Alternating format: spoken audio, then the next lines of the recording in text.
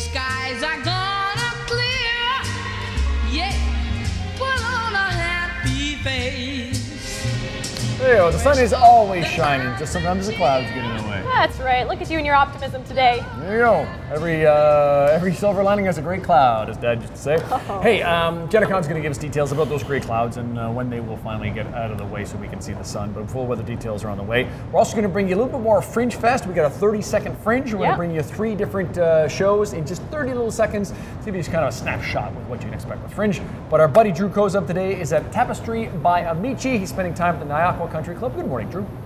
Good morning, you two. I'm very excited to be here because I haven't been there since they've finished the renovations, and uh, a big fan of what they have to offer here at Tapestry by Amici. Okay, now not only renovations, we've got a brand new uh, patio wrapping around the building, but the nice. menu's changed. What has you most excited?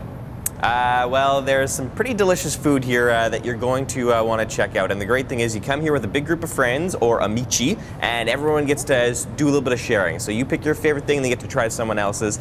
And the food has been taunting me since uh, executive chef Gord Harris has uh, laid it out. So, Gord, first of all, thanks a lot for letting us come down today. Not a problem, Drew. Anytime. Well, I can't wait to dig into this. So uh, let's let's go right into the food. Let's check Okay. out the uh, most popular item, which is these double bacon wrapped prawn. Did I get that right? Uh, it's a double smoked Tyrolean bacon wrapped prawn Ooh. with grilled flatbread and a tomato agrodolce and a lemon garlic aioli underneath. okay, so uh, what makes this one the, the the dish that everyone's going crazy I think for? people are, you know, shrimp. You give people shrimp, they just love it. And then you put bacon around it, and it's double smoked.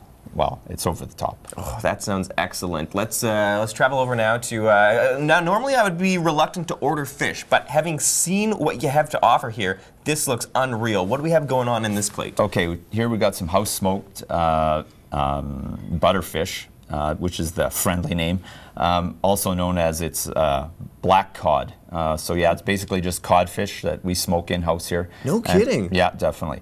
And it's served on top of a white bean ragu. That looks absolutely delicious. Now, uh, can I ask a little bit about uh, that smoking process? Uh, you guys do it inside? Yeah, like- we cure the fish inside in house here, and then we uh, toss her in the smoker. It Goes for about four or five hours, and comes out buttery. It's awesome. It's delicious and ready to go. And then uh, same process for uh, smoking the bacon. Is that? Uh, we bring the bacon in from Alberta, actually. oh wow. Yep.